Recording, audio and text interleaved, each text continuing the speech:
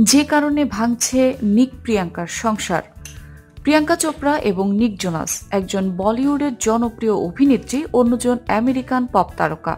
দুইজন মিলে গাঁটছড়া বেঁধেছিলেন পহেলা ডিসেম্বর দু আঠারোতে।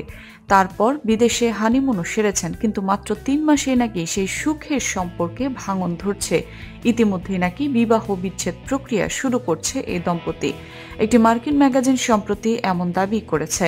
নাম প্রকাশে অনিচ্ছুক একটি সূত্র জানিয়েছে, ছত্রিশ বছরের নায়িকা এবং ২৬ বছরের গায়কের মধ্যে নাকি কোনো কিছু নিয়ে মতের মিল হচ্ছে না।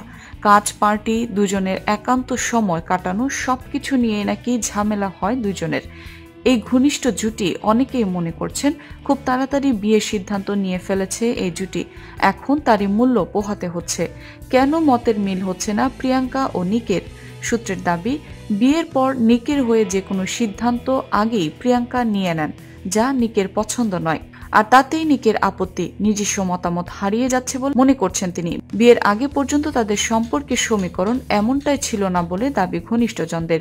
পরিবারও নিককে এই সম্পর্ক থেকে বেরিয়ে আসার পরামর্শ দিয়েছেন বলে জানা যায়। তাদের নাকি মনে হয়েছিল প্রিয়াঙ্কা একজন পরিণত মনস্ক, গুছিয়ে সংসার করতে পারবেন। কিন্তু বিয়ের পর তার আচরণ দেখে নিকের পরিবারের অনেকেই মনে করছেন, আসলে পার্টি করতে সবচেয়ে বেশি পছন্দ করে প্রিয়াঙ্কা।